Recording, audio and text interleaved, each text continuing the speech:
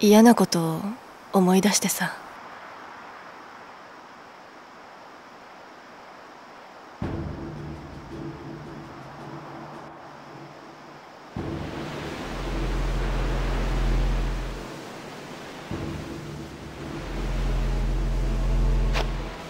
ジーンの追っ手から逃げ切ったと思ったらいきなりヌージに撃たれて気を失う前に最後に見たのがあんな夕焼けだった。あの時あいつは周囲に操られていたんだ。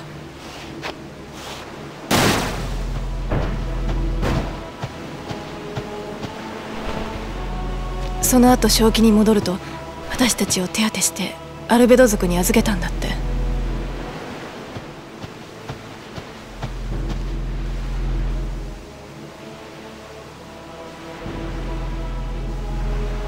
そいつらはジーンの目をくらますために私たちを別々に運んだ。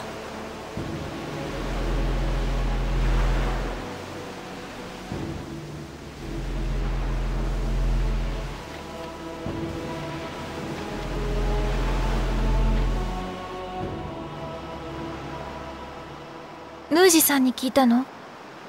もう水に流したはずでも時々思い出す。仲間がバラバラになった夕暮れとかその後の長い夜とか。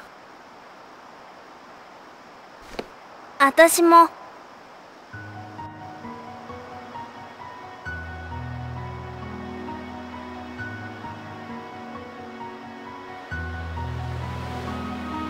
ほら初めてザナルカンドが見えた時。このまま進んだらユーナン死んじゃうって思ってたし。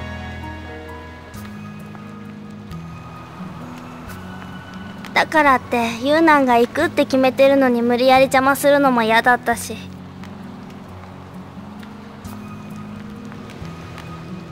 どうすればいいのか考えても考えても分かんなくって。半泣きで夕焼け見てた。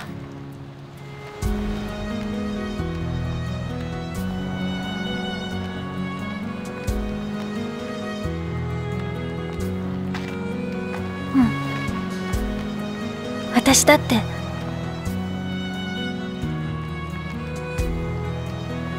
究極召喚のこと何にも知らなかったからみんなと一緒に歩くのもこれで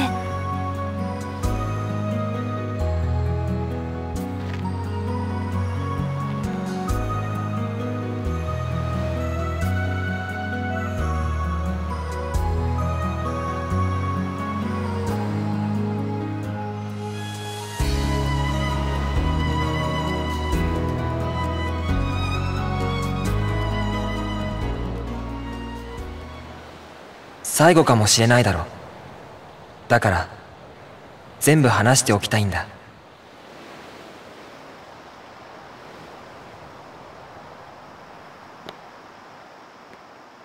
ねえ今の私たちは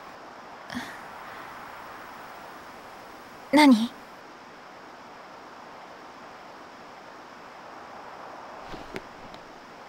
何でもない